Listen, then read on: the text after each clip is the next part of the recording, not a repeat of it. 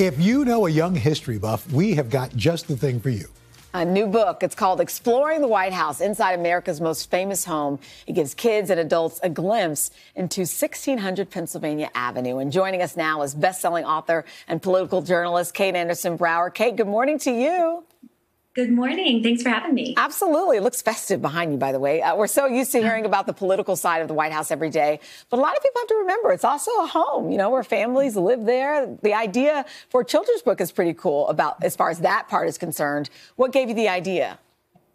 Well, I wrote an adult book called The Residence about uh, the butlers, the housekeepers. I interviewed more than 50 of them, the people who make the White House run behind the scenes. And they're this incredibly devoted, uh, dedicated group of people. And I thought, you know, I have kids of my own now, and they're very interested in American history.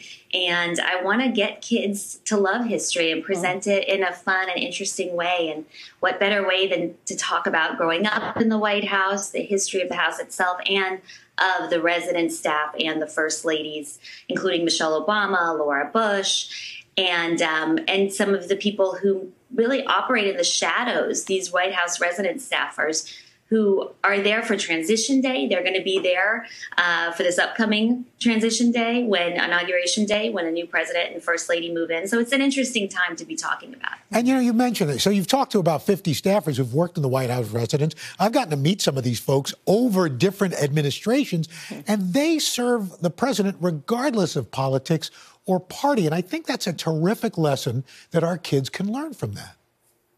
It is. And it's really wonderful. It's this rare universe of people who are not partisan in Washington, mm-hmm. right? And they are so devoted to their jobs and they work incredibly long hours. Um, and many of them um, are, are just love the family. They will do anything to protect the family. And, you know, you could see uh, George H.W. Bush and Lindsay Little, who worked in the housekeeping department. They would play horseshoes together uh, when the weather was nice. They become actual friends. You know, um, when, when one of the butlers passed away, uh, you had Michelle Obama and Laura Bush actually talk about him at his funeral. Mm. Um, and, and, you know, this is a rare group of people that we don't get to see. And I think it's an interesting way to get into the history of the house. It's more personal and I think more meaningful. You've also included some anecdotes and fun facts, especially about kids that used to live in the White House. Is it true that one had their own high school prom there? How fun.